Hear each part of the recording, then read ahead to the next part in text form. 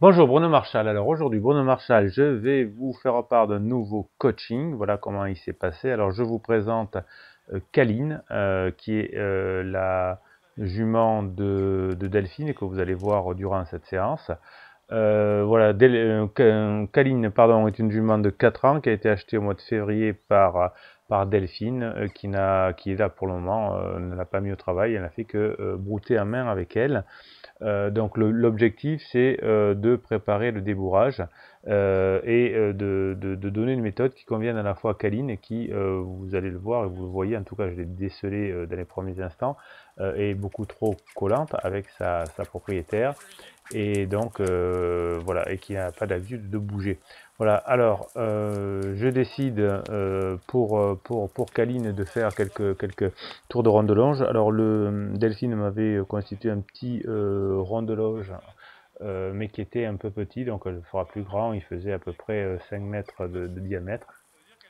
Donc vous voyez qu'avec une jument comme ça c'est pas la peine de faire un exercice de leadership très très long. Je lui ai fait faire un tour euh, dans un sens et un tour dans l'autre. Et euh, voilà, euh, la jument a compris et me suit. Alors c'est pas très évident pour elle parce que c'est un, champ avec de l'herbe et avec beaucoup de crottins aussi. Voilà, donc elle me suit, la caméra est mal positionnée, je l'avais positionnée dans un coin du, du rond de longe, voilà, pour, pour pas trop bouger. Donc une fois qu'elle m'a suivi, je l'ai refait partir une deuxième fois. Vous voyez que pour euh, l'arrêter, c'est pas la peine d'aller euh, se battre avec elle. On se met sur la piste, on tend le bras éventuellement et on va caresser. Voilà euh, le fonctionnement pour montrer à la jument qu'elle doit s'écarter de nous. alors effectivement, je n'avais pas revu ces, images et je, n'avais pas pu avoir assez d'angle pour prendre tout ce rond de longe euh, donc vous allez voir euh, dans, quelques, dans quelques instants, vous voyez que euh, Kaline coupe un peu encore le, cercle. C'est normal, hein, elle limite le, prédateur pour dire comment tu ferais Bruno si un prédateur arrive, est-ce que tu serais capable de, faire, de le faire partir? Voilà.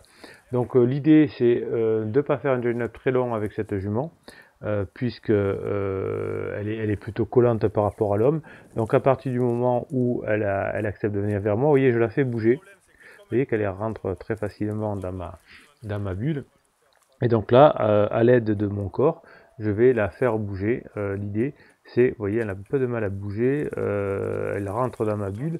Et l'objectif, c'est d'expliquer à Delphine que le dernier mètre est euh, toujours celui de la, euh, l'humain. Vous voyez, donc là je, la fais bouger tant bien que mal. Alors je suis désolé, j'aurais aimé que ce soit plus, explicite, mais vous voyez, hop, hop, un peu reculé. Avec la chambrière, la badine, pardon, je la fais avancer, je la fais reculer, je bouge avec elle. Voilà, et je la fais trotter un petit peu si nécessaire. Mais vous voyez que hop, je la refais bouger parce que cette euh, jument euh, a du mal à, euh, pour l'instant, respecter l'être humain, puisque pour le moment elle n'a pas appris, c'est tout à fait normal. Delphine a fait du bon boulot avec elle, euh, mais elle n'a pas travaillé ça. Voilà, donc j'ai montré à Delphine comment, euh, comment ça se passe, et Delphine va euh, appliquer, je lui laisse la place, hein, puisque vous savez que dans un rond d'éducation, dans un rond de loge, il n'y a qu'une personne qui agit. Vous voyez la différence d'énergie de, entre, entre, entre Delphine, qui est un petit bout de femme très énergique, et ce que je donnais à, à Kaline. Donc les gestes de, les gestes de, euh, de, Delphine sont beaucoup plus, plus, vifs. Et vous voyez que euh, du coup, euh, Kaline s'énerve un peu plus, et a, beaucoup plus d'énergie. Donc vous voyez que ce que je vous explique tout le temps dans, dans, mes vidéos, c'est que l'on doit adapter les exercices quand on va chez quelqu'un à la jument, mais aussi à sa propriétaire. Alors j'ai parfois des commentaires qui me disent, moi j'aurais pas fait comme ça, c'est normal, hein, toutes les écoles ont des méthodes différentes. La mienne, c'est qu'il n'y en a pas, on s'adapte. Et euh, vous ne pouvez pas savoir ce qu'est le propriétaire. Souvent, il n'est pas sur les, vidéos.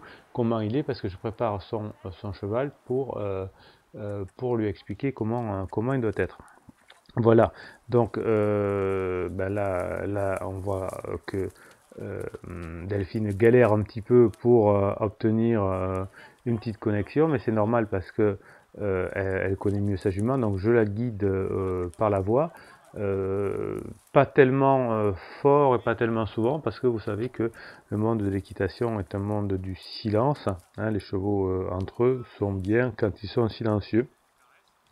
Voilà, et donc cette, cette poignée de main de Delphine, vous voyez que euh, Delphine est très énergique et euh, qu'elle se pose aussi euh, beaucoup de questions, qu'elle me pose aussi beaucoup de questions, et, c'est normal, je suis, je suis là pour ça. voilà, donc là, elle déconnecte pour venir me parler. Delphine a évidemment beaucoup de, questions et c'est normal. Donc vous voyez que là ça a duré maximum 5 minutes et on, l'a travaillé à deux, hein, ce travail en liberté, j'ai rien coupé. Euh, ça suffit. Hein, on sent que la, jument commence à en avoir assez. Donc je change d'exercice et euh, je décide là, euh, parce que ça va aller bien à Delphine et à Kaline, de lui montrer l'exercice du, du tête hanche épaule. Vous savez, ce fameux exercice qui va permettre au, au, cavalier de décoller une jument qui est un peu pot de colle, qui n'a pas appris à respecter. Donc vous allez demander d'abord la tête ensuite euh, les hanches, ensuite les épaules. Donc ce que je vais vous expliquer là, euh, j'espère que, la caméra va, être quand même pas trop mal positionnée. Euh, pour la suite des exercices, restez, j'ai pris la caméra en main, j'ai demandé à, Delphine de le faire aussi. Donc vous voyez que là, alors là j'explique à, c'est dommage que, que je ne sois pas un peu plus au milieu. J'étais en train d'expliquer à, Delphine que 90% des gens qui pratiquent l'éthologie se trompent puisqu'ils font tourner le cheval en rond sur lui-même, il demande la tête, puis les hanches et puis les épaules, donc ce qui fait que euh, le, cheval qui, débute, vous voyez, on le voit un petit peu là dans mon exercice que je montre ce qu'il ne faut pas faire, euh, la, jument va bloquer sur son épaule et va pas réussir à avancer. Donc le but, l'objectif, c'est de faire avancer la, jument, un peu comme si on était en longe, mais avec un démarrage sur l'arrière-main après avoir donné son, euh, son, son, son encolure. ne faites pas tourner en rond sur un espace de, de, 2 mètres, vous allez abîmer l'épaule de votre cheval et je ne comprends pas pourquoi euh, on enseigne ça euh, même au plus haut niveau euh, à faire cet exercice qui est anti bon sens donc il faut marcher avec, avec la jument. Autour la, la, jument on va marcher avec vous autour de vous et un coup à droite un coup à gauche là je suis en train de, changer son côté et vous allez voir que ça va permettre à la jument de comprendre le fonctionnement de l'être humain c'est-à-dire qu'il euh, va falloir qu'elle accepte que ce soit l'humain qui rentre dans sa bulle et non pas l'inverse, pour pas se faire fouiller les poches, se faire mâcher sur les pieds, etc. etc. Donc là, pour le moment, on voit plus grand chose. Je suis désolé, on va, ça va changer avec les, images qui vont, venir dans, un instant. Euh, donc là, je vais demander à, euh, à Delphine de me remplacer. Voyez, euh, je fais avancer la jument, euh, toujours par l'arrière-main, vous voyez qu'elle n'était plus du tout collée à moi, c'était déjà beaucoup mieux, hop, voilà, et je lui demande d'avancer autour de moi et de marcher tranquillement, hein, donc là on fait pas, on essaye de passer du rond finalement à la marche, et vous voyez que quelque chose que j'avais repéré chez, cette jument avec sa propriétaire, c'est qu'elle avait du mal à se porter en avant, et avec une séance qui a duré 25 minutes, c'était terminé, vous allez voir, euh, j'ai dû ensuite passer par un travail au longue rêne pour euh, mobiliser cet arrière-main qui était un peu frileux. Voilà, donc vous voyez que une séance de coaching se construit au fur et à mesure des réactions du cheval, au fur et à mesure des réactions de son propriétaire. On ne peut pas prévoir à l'avance euh, des exercices, ça n'existe pas en coaching, ça existe dans des cours collectifs, parce qu'on sait que de toute façon on ne pourra pas s'adapter au caractère de chaque cavalier, de chaque cheval. Mais quand vous faites un coaching, on est obligé d'avoir une, trousse à outils avec plusieurs disciplines, avec du classique, avec du western, avec, avec de l'éthologie, avec du Camargue, avec euh, de l'équifide, tout ce que vous voulez, euh, pour vous adapter au cavalier et à son, à son cheval. Voilà, alors je sais pas pourquoi on a tout travaillé dans ce, quart de rond là-bas où on voit rien, donc c'est un peu un peu frustrant. Donc on voit l'énergie tout de suite de, euh, de Delphine et euh, la jument qui marchait tête en bas il y a quelques secondes euh, avec moi. hop, a tendance à beaucoup accélérer. Donc vous voyez bien, voilà, regardez, hop, la différence. Et vous voyez à l'allure où marche Delphine par rapport à, l'allure à laquelle je marche. Donc on voit que la grâce de, de, Karine, de, de, c'est de s'adapter à l'énergie assez, assez intéressante de, de Delphine. Et là, ça y est, elle a compris. Euh, Delphine a compris, euh, euh aussi, je vais y arriver. Euh, et donc, ça y est, elle marche la, tête en bas et se décontracte. Voilà, alors je est en train de changer de côté. L'objectif, c'est de travailler un coup à droite, un coup à gauche. Alors, pour la petite anecdote, Delphine exerce le, beau, métier d'institutrice et donc on a pu créer des liens ensemble euh, en fonction et elle a très bien compris que euh, enfin des liens entre son métier et, sa jument donc elle a bien compris que pour des enfants euh, en primaire si on ne change pas rapidement d'exercice, et eh bien ils vont s'ennuyer. Et là avec la jument c'est pareil, regardez un petit peu la différence. En moins de deux minutes, la jument qui était surexcitée avec Delphine, euh, ça y est, baisse la tête, broute, euh, et donc je décide euh, d'interrompre ce type d'exercice pour passer à l'exercice suivant, qui est l'exercice des, des, longues reines. alors on ne le fait pas tout le temps, mais j'ai estimé que pour cette, cette, cette, jument et pour et pour Delphine, c'était ce qu'il fallait, puisque Delphine a la chance d'habiter euh, directement en campagne, d'avoir ses chevaux à la maison, et donc elle va euh, pouvoir, avant le débourrage, aller faire des balades, des footings euh, dans les chemins directement en partant de chez elle avec, avec Aline. Voilà, donc je réponds aux questions de Delphine pendant, pendant le coaching. Je lui explique là que je vais lui montrer dans le petit rond de longe comment on manie les longues rênes. Alors pour le moment, je ne sais pas comment va réagir Kaline.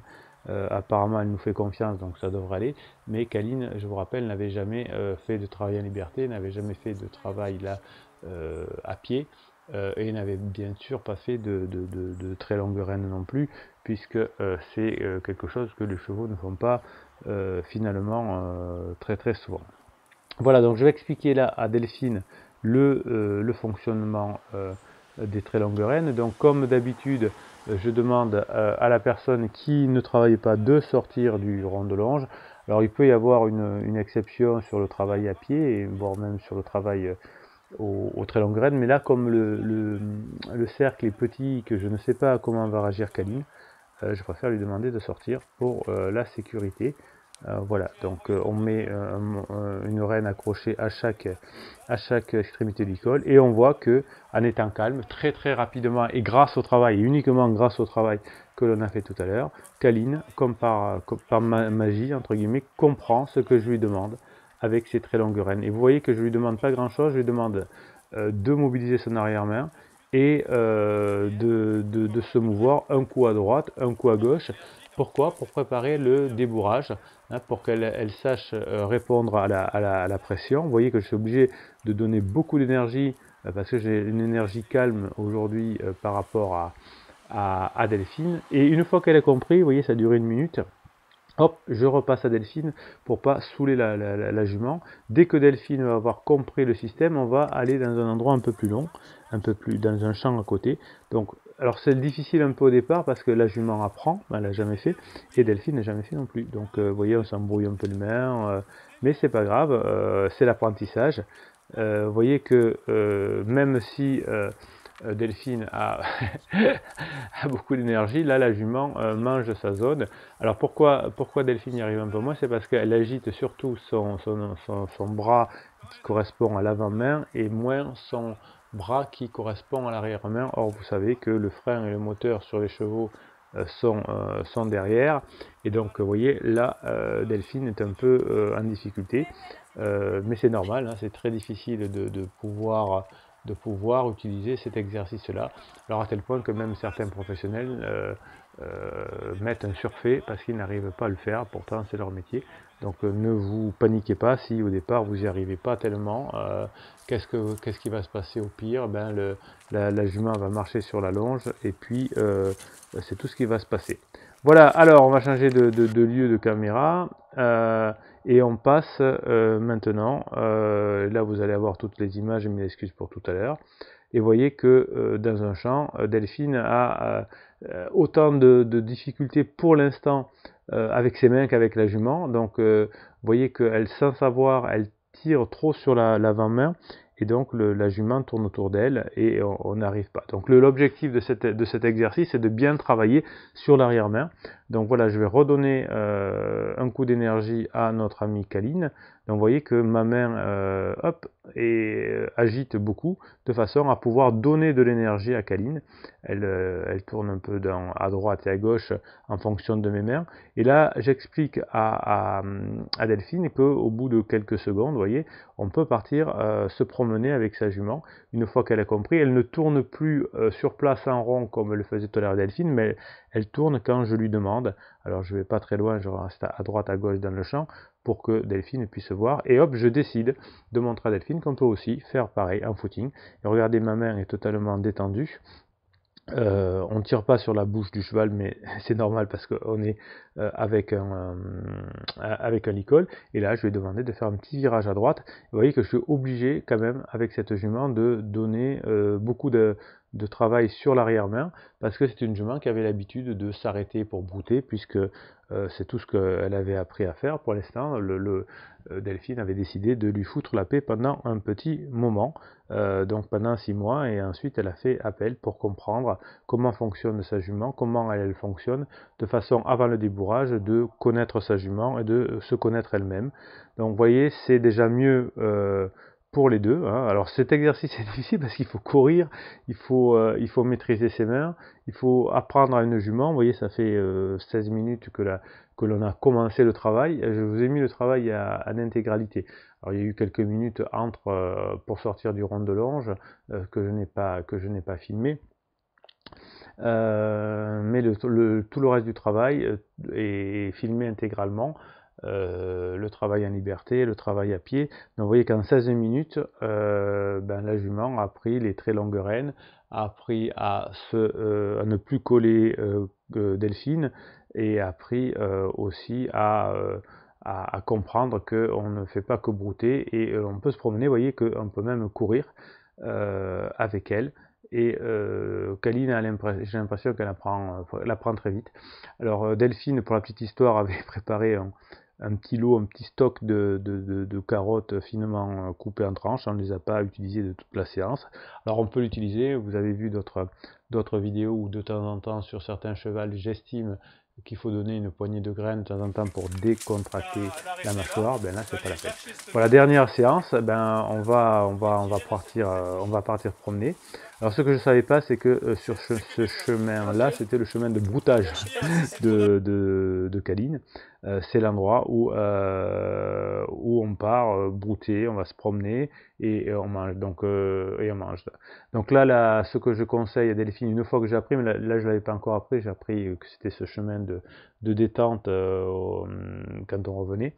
donc j'ai appris à, enfin, j'ai conseillé à Delphine au moins au début, de changer de, chemin hein, et d'avoir de, un chemin où on va brouter, se détendre, un, chemin où, ou des chemins où on va travailler de façon que ça ne perturbe pas trop la jument.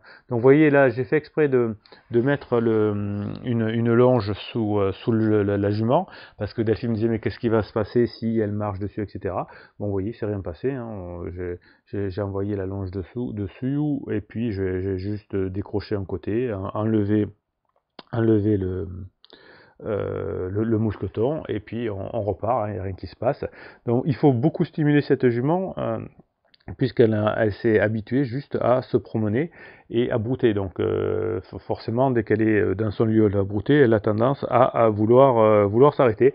Donc qu'est-ce que je fais avec mon énergie et avec les rênes? Euh, je, lui donne, euh, je lui donne cette énergie-là et je vais décider euh, de montrer à Delphine qu'on peut même courir parce qu'elle se demandait si la jument n'allait pas l'embarquer, etc. Donc voilà, hop, comme elle me donne ça, je dis tiens, regardez, hop, hop, hop, on y va. Alors vous voyez que Kaline a, le réflexe d'aller dans l'herbe à droite et à gauche hein, pour, pour aller brouter, c'est ce qu'elle fait d'habitude. Donc c'est pas grave, je la remets sur le chemin. Hein. J'aime bien quand il y a des, quand il y a des défis, parce que quand c'est très simple, euh, c'est pas la peine de me faire venir. Et là, on va arriver dans un, dans, un, dans un coin où c'est bien tombé, il y avait des poubelles. dont, qui ont un peu impressionné Kaline, mais vous voyez que hop, ça fait rien, je l'envoie quand même sur l'obstacle, et puis ça va, elle passe, elle baisse le, elle baisse le, le, chanfrein, et on y va, on continue.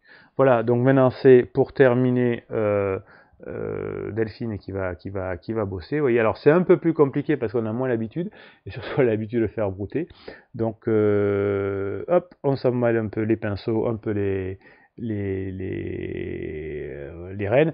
Alors, je, vous mets ce genre de vidéo et, parfois je mets les personnes qui débutent parce que je sais que vous aimez bien ça parce que vous vous trouvez dans les mêmes situations. Hein. vous avez plusieurs vidéos, vous avez mes stagiaires capables de venir aussi euh, qui travaille le cheval à la liberté, où je vous montre les différents tempéraments avec les différents chevaux. Et en principe, vous aimez bien ça parce que vous vous retrouvez. Hein. ce que vous n'aimez pas, c'est les vidéos toutes faites où le cheval est parfait, où le cavalier est parfait, il y a des heures de travail qui sont cachées, et hop, on a l'impression que c'est fait d'un coup de baguette magique. Eh bien non, c'est plus compliqué que ça. Alors pour terminer l'image fixe, alors c'est pas c'est pas Kaline, c'est Rimpo. Euh, donc euh, c'était juste pour terminer et remercier Kaline et euh, et Delphine, euh, donc voilà, euh, bon plus tard peut-être qu'Aline fera comme ça, Galou, Galou en liberté, l'homme centaure, c'est vraiment quelque chose, un kiff que j'ai. merci, merci à vous. Donc si pour avoir, pour bénéficier d'un coaching, eh bien vous avez le lien ci-dessous dans le, dans le commentaire sous la vidéo. Vous avez même pour pour pour faire faire un fichier de neurohypnose, vous commencez à savoir ce que c'est. Dans la région de Montpellier, on se voit en face à face, et puis sinon, on se voit, euh, on se Skype, on se téléphone, et on, vous avez après le coaching 15 jours pour me poser toutes les questions, pour m'envoyer des vidéos, pour savoir comment ça se passe avec votre cheval. Voilà, c'était Bruno Marchal, et je vous dis à très bientôt.